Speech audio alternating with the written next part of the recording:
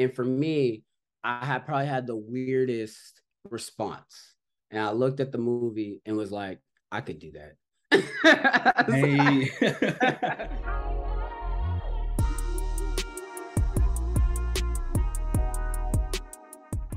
what is going on? Welcome to the School Psych Corner. We are here for another ETG session with my man Kevin Urquhart. Kevin is an owner within this company called One Circle Films, and we're going to talk about what his role is and how he actually got there. Now, Kevin, I knew Kevin since I was back in middle school, and to see where he's at current day, my sister actually told me about. She was like, you know, Kevin's in actually production. He's doing production. I was like, wow, that's pretty cool because I've spoken to a lot of authors and people that do writing, and I haven't had someone on here that speaks about production. So you are my man for that and let's have a conversation, man. All right, all right. Looking forward to it. Looking forward to it. So just real quickly, like I mentioned, I knew you in seventh grade or sixth middle middle school, sixth through eighth grade, and then we fell off towards the high school. But right, right. currently, what are you focused on when it comes to what you're producing within this company? Yeah, so with One Circle Films, we do a few things. We uh we've shot commercials, uh like golf commercials. We've shot um, commercials for uh, roofing clients. Uh, we do shoot weddings as well as we shoot films. Uh, we've had a short film recently, Ascension, that we just finished, uh, still in post production. Look out for it. Uh, as well as we are working on a, on a few projects, few features uh, we'd like to get out there in the near future. so I'm excited about some of the adventures we're going through and we're going to be producing and, and releasing to everybody. And I think it's going to be something people really want to see and check out. Okay. You mentioned that uh short film I'm not gonna I'm gonna butcher it. Short film Ascension. Yeah, the movie's called Ascension, yeah. Okay. What is the purpose behind that? Because when I think of those kind of films, I think of like the um the ones on Disney and Pixar, the shorts. But yes. like what's the purpose behind that as opposed to something else? I mean, even a commercial that you mentioned you've done. Yeah. Okay. So when you shoot a short film, when you have a filmmaker who does a short film, it is usually going through the market of wanting to enter a film festival. Uh, festivals are really designed to really get that filmmaker out there and to really bring attention to the talent that is um, on that project.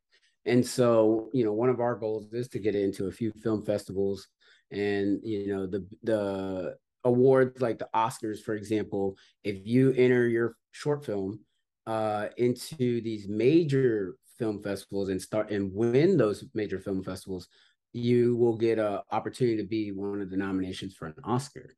Um, before I was even part of One Circle, I did shoot a short film and I did uh, I did attempt the uh, film festival route. I'll admit it didn't get picked up, but it was my first short film I ever did, and I was still trying to figure out how to do things. So mm-hmm.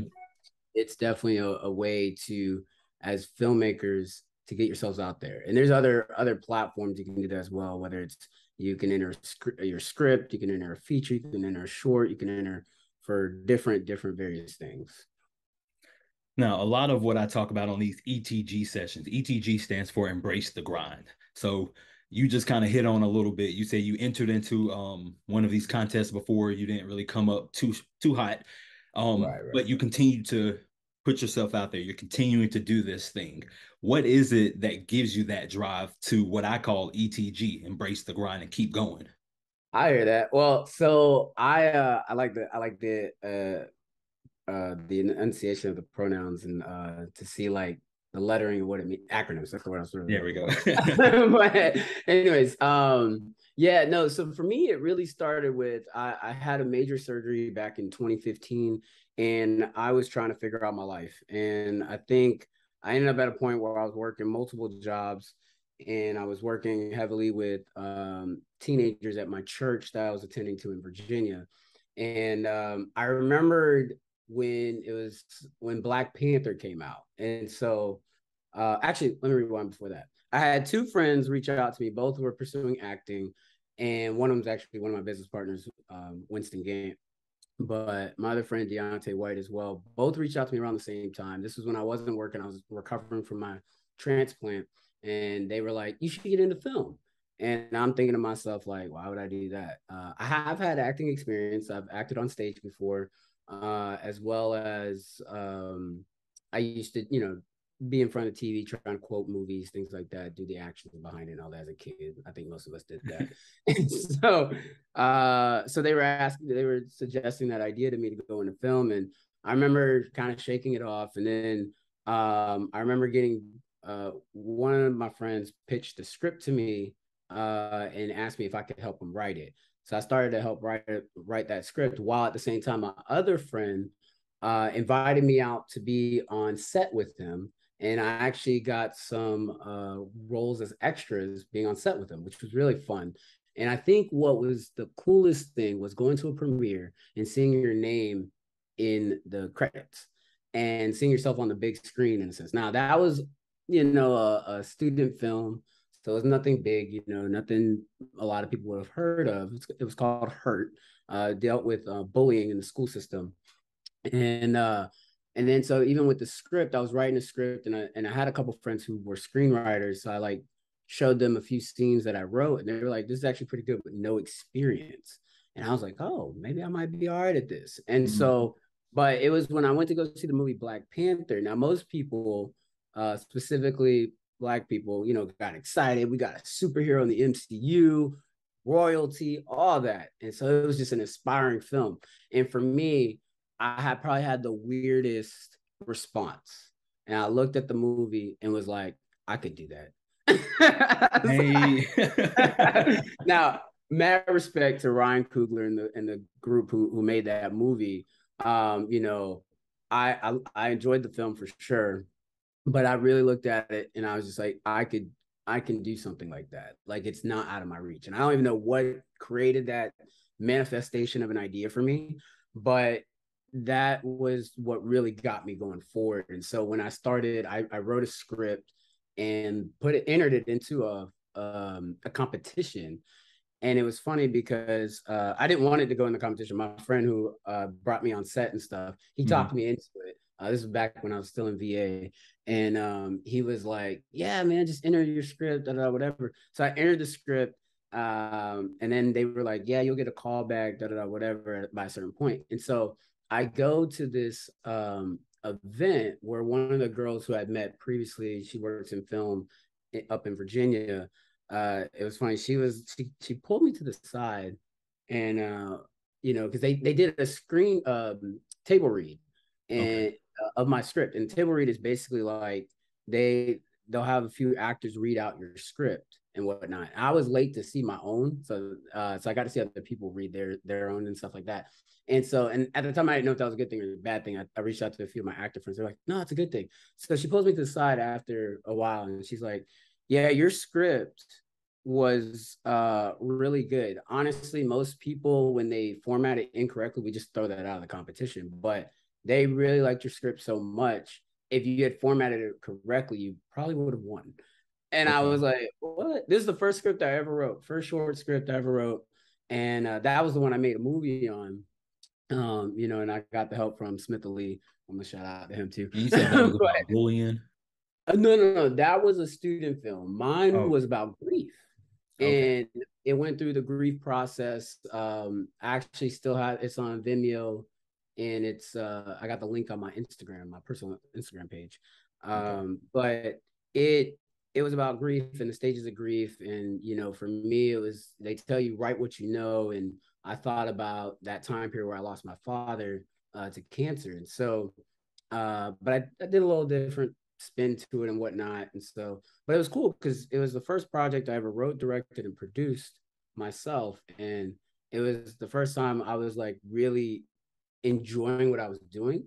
You know. I think life we we try to figure out what is it we want to do and that was where I was like, this is what I want to do for the rest of my life, you know.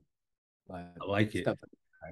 hey, so when you talk about that sort of background, that sort of passion, it's like that's how you are able to, you know, keep grinding it out because it's like you have no other option. This is what you're doing. right, right. Um, and I think back even to our middle school career, um, we did some productions and stuff. Like, thankfully, yeah. the the teacher and the platform to teach us those things. But yeah, um, I think I'd even done some at my elementary school, but what okay. we did in middle school was a little bit more advanced and it took yeah. some more creativity. And yes. so um, I can definitely see you've taken off with that and taken it to a whole nother level, man. Yeah. Yeah, definitely. I remember we we shot the music videos and I completely forgot about it until your sister actually brought it up uh, when I first met her. Mm-hmm. And I was like, oh no. She's like, yeah, I saw it. yeah, I kept that around just because my video was pretty funny, especially to look back on now. But right. we were young, we put ourselves out there and yeah, um, yeah. Yeah. So is that, What's that? I, I, said I had fun doing it when we shot it. I remember exactly who I shot it with. I shot it with Leah Watkins and Hayden Henderson. Okay. Um, back then, yeah. But no, it was, it was fun. It was fun. And I think about yeah, it is fun, and there are also obstacles that you know day in and day out. Um, what are some of the key obstacles that you're faced with, whether it's you know creativity or writing? Okay. Yeah. So I uh I'm currently working on a graphic novel and it's funny because I've never written one, and I I know they'll say like you could sit in front of a computer, a laptop or whatever, and not write anything for hours, and people will think if you're if you're not a writer, people think oh you just wasted a few hours. But writers know you can have that writer's block, and that's it's still productive. And I've found myself struggling with that from time to time about how do I get this like what's in my head correctly on the screen to write and make the sequence make sense? Or how do I get my characters to make certain actions? Now, you if you want to make an organic story, you don't you, you want to know where it's going, but you don't want to force it. You want it to go, you know, organically to where you're trying to get it. Of course. And uh, it can be a struggle where you want your character to be at a certain spot by a certain point of the story and then it's like oh, all these different occasions or events are happening and they're going through these obstacles and i can't get them to that exact spot you know and even with uh filming in general obstacles you can run into is you have te- technological difficulties. Um mm. you know if your audio isn't cooperating the way you want it for example um you can have not enough help on on set. And as a producer i have to think about when we're shooting something i have to think about the logistics of time because time is money and mm. if i'm paying an actor for example or or a dp a director of photography or cinematographer or you know all these different roles if i'm paying them a certain amount for a certain amount of time and then we go over that time it's like okay now i'm costing more or you'll use an example of say now i've been now because i've been doing lower budget uh films and projects i haven't necessarily wrestled with this yet uh with with that example i just gave or location but you know there will be a time where say you want to rent out a building for a scene and if something goes wrong and you're delayed and you only can be there for a certain amount of time um, actually, I almost faced this when I did shoot my short film Grief. We had studio space um, for a certain amount of time, and I remember getting a phone call from the studio. And I haven't really shared this story with too many people, but they were like, "Can you shift your?" We, well, no, they said someone called and they want to know if you can switch your days. Now, at that time, this is before the pandemic it was 2020, but it was before the pandemic. I was going to be moving out to LA. Uh, I was going to move out there in March. I had the date set up. I had a place where I was going, all that. And so I was shooting this um, this film at the very beginning of March, um, that first week. And so I remembered uh, I was like, okay, I got like two weeks. I gave myself breathing room to move to LA from sh- finishing the film. And when they called me and said, "Can you move? Someone wants to know if you can move your date." I was like, "Okay, I don't think it's like gonna be plausible." So I was like, "Let me let me talk to my DP because he had more experience than me." So I was like, "I just need some advice." Mm-hmm. So he was like, "You know, if you uh, you know, stick your ground, stick your ground." So then they I called back, I was like, "I can't move it." This and third, because scheduling is hard. You you want everybody free for the amount of time you need them for every position on a set that you need. And so getting the scheduling down was very difficult, let alone we all we we actually shot this in Atlanta. So it's like we all had to travel because most of mm. everybody was here. And so I remembered um I remember calling him back and then he was like, okay, well, they've uh, kind of upped the ante a bit. That's not how he said it, but he was just like, they're willing to pay for your studio time to to move. Something like, who am I dealing with? Somebody with money, you know, because I'm like, and I was like, um, so I, for, I forgot exactly my words, but I just remember thinking like, who who's asking me to move? And, so they were like, oh, okay. So normally I'm not allowed to share who, but you know, they told me I can because because he was like, they'll pay for your, they'll pay a little bit of your time, or they'll give you tickets or something. I'm like, I don't, I don't know what some fair compensation. Yeah. And so I'm like, why would I want tickets to what? And he's like, the Atlanta Falcons are trying to shoot a commercial and you have their space, but you booked it first. So mm. it was like the Falcons are wondering what can they do to get you to shift gears. I'm just like, oh snap. yeah, it's kind of like real estate, man. You got some prime land right there. right, right. So I'm thinking to myself, like, man, I'm this little, you know, filmmaker trying to you know, shoot his first film. And I'm thinking like, okay, this is a huge organization. I'm very familiar with, you know. So I, I go back to my uh, DP for advice. Let me give some advice. So I asked him. He's like, he's basically like, who cares who it is, like, and all that. So I was like, all right, all right. So I, I was like, let's let's compromise. Let's compromise. Why don't we shoot that day? I think they needed it by a certain time to start setting up. And I was only shooting for one day at that spot. So I was like, Do you think we could finish early? And he was like, I have faith that everybody that's working, because he had helped me cast some of the people. He was like, I have faith we can get it done early if that's what you want to shoot for. I like, sure. So I'll call back, was like, tell them we're gonna try to be out of there by, and I gave him a time. And he was like, that should be reasonable, whatever. I was like, the only thing I asked for is they chip in. So I got to save some money. Mm-hmm. And if I can get a connection to one of their people.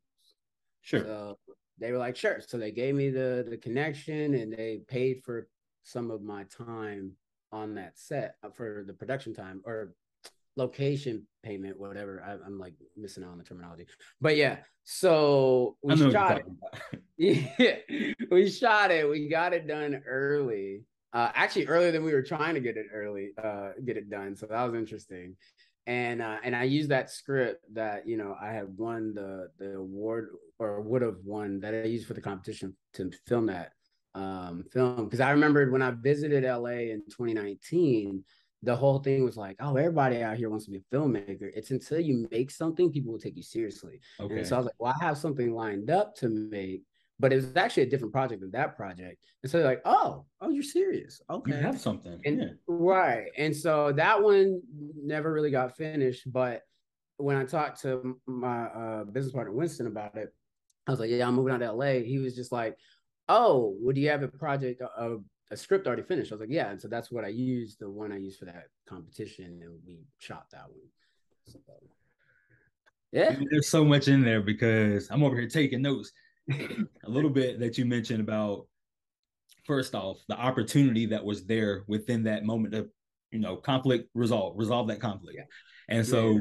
you got a contact that I'm sure is more valuable than, you know, any kind of, you know, little money thing that was thrown in there yeah. you negotiated that you looked to your mentors and people that you trust in so you didn't make these decisions by yourself and then right. ultimately you put the you know the new statures in place right and all is well ends well. So it's like man that's a that's a, a good blueprint on how to problem solve. Yeah yeah yeah. No and and i honestly like it wasn't like someone gave me that idea to do. It was i literally was like i don't know anything about filmmaking yet. Like most of the stuff I learned was through YouTube. I taught myself how the how the process worked, and then I eventually, um, you know, started seeking out people. Uh, but even before I went after this this uh, the industry, I reached out to a lot of people in film and was like, "Is this worth it?" Because you know, I don't want to sell my soul to be quote unquote successful. Sure. And you know, hearing the feedback that I was getting it was like, you know what? If I have a story to tell, and you know, you know, I, I I'm I, I'm a heavy believer in my faith, and so it's like I do have stories I want to tell, and I do want to be able to share what God's done for me throughout my stories. Um, so it, it was really cool to just know that that is possible versus everyone thinking you're in the devil's playground type of gotcha. You know I mean? So yeah. yeah. I was I just finished up a book called Outwitting the Devil. Oh. And a lot of that kind of goes into it to where he talks about hypnotic rhythm, getting people in a right. trance to where you just expect bad, but you're there to kind of change the direction of that. But you talked about some of the obstacles, some of the problems that you've had to overcome. Looking yeah. into the future, whether it's, you know, one, two years, or even five to six years, like where do mm-hmm. you see what you're building right now? Where do you see that growing to? I see it growing to so you mean individually or as my like with my company? I would say individually, but I'm sure that's gonna, you know, play a big yeah. part into your company as well. So yeah, yeah. Yeah, I'd like to. I'd like to see uh, what I feel like I'm growing into. The different things I'm involved in. As you you remembered in middle school, I have a lot of interest in a lot of different things, and so I love filmmaking where you can be in anything genre wise. You know, depending on what you decide you want to do. But I've actually started learning about myself and what I want to do when it comes to the entertainment industry. And so you know, my number one goal was to be a film producer, which I still want to do that. Um, directing wasn't necessarily my niche, um, but I do have a little bit of directing experience. Um, even after the graph, um, graphic, no, after Grief, my short film, I was able to help a friend. I co-directed with a friend for a friend who was uh, doing personal training videos. This was like actually during the pandemic. So we kept it safe. We, we were outside the whole time, six feet apart, all that. This is in, back in tw- summer 2020. Um, but he was trying to help people continue to be exercising and things like that. So it was like a promo video for him. Um, but yeah, so as far I, I definitely want to be in producing. Um, I like I said before, I have my graphic novels I'm working on. If they can turn into some type of production, that would be great. If it's a TV show, I'd like to, you know, be um be a showrunner. Uh, basically, it's the person who's in charge of the entire where the story goes and all that. Um, usually, you don't become a showrunner on the first go around, but if I mm-hmm. can be in the writers' room for that, that would be great as well. Um, you know, and then I've been starting uh, to get into voiceover work. So it'd be kind of cool to get into doing voiceover commercials and things like that. I work with, um, I'm a producer with 321 Productions as well and they work on branding people. So they'll do promo videos, uh, they'll do helping out with social media, things like that, uh, YouTube videos, um, people who have YouTube channels, things like that, just to help them promote themselves in that way. Uh, and then with my company, you know, we One Circle Films, you know, we want to create features. We have TV shows ideas as well. Um, but you know, like I said before, we've we've we can shoot weddings, we can shoot commercials like golf commercials, roofing commercials, things like that. Uh, so this is, you know, I know a lot of people are like, wow, you got your hands on a lot of too many things, but it is doable. And I think with the industry and what it allows you to do is the more you you are able to do different things, the more valuable you look to sure. say studio. And there's definitely studios I'd love to work with, you know. So with that, it's like I want to continue to grow, continue to learn.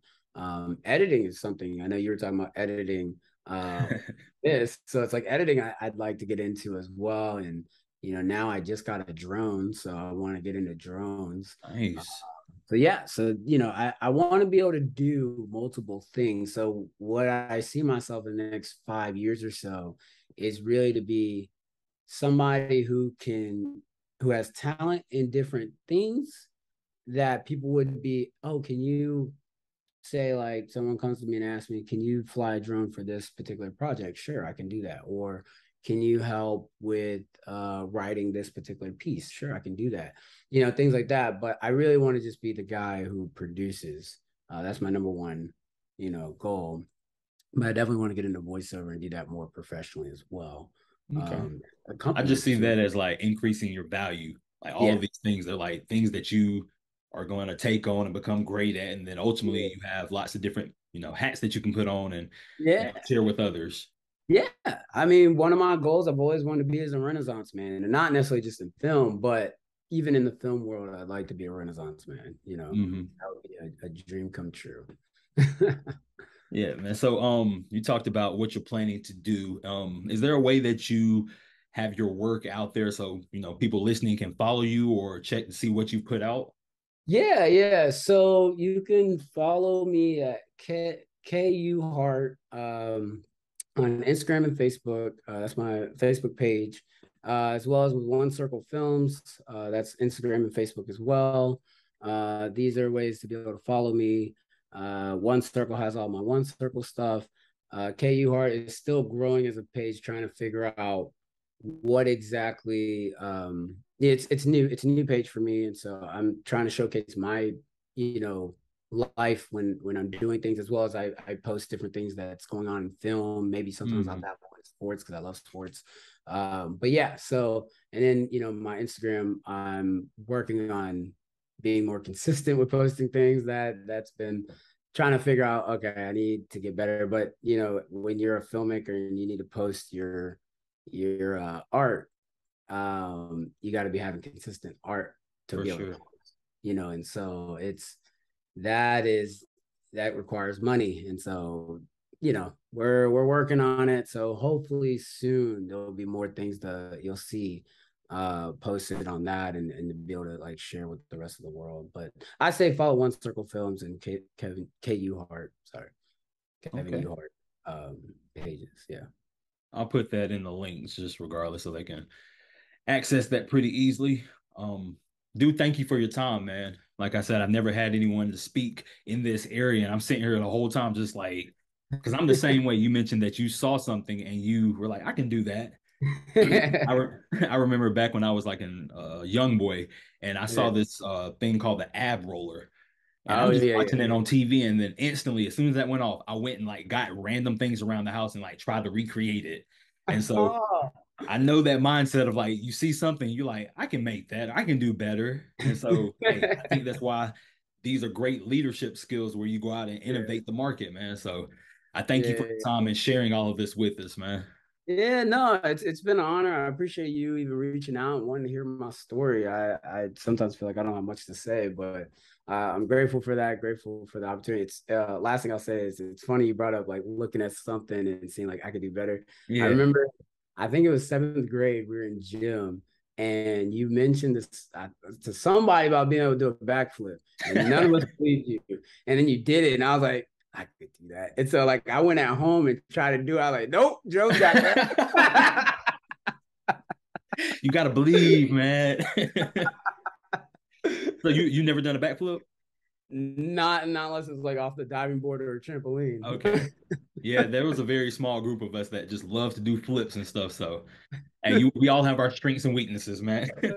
True, but no, I mean, I literally so something a lot of people don't know is I did do gymnastics a little bit as a kid, and I okay. literally did it so I could learn how to do a backflip, and I apparently quit right before they started learning. Uh, what I've noticed with backflips is the hardest part is just the mentality, the mindset to go yeah. over as yeah. soon as you can get rid of that, it's like you're gonna fall, you're gonna, you know, get hurt, bang your head around, but you'll right. get better, just like with anything else.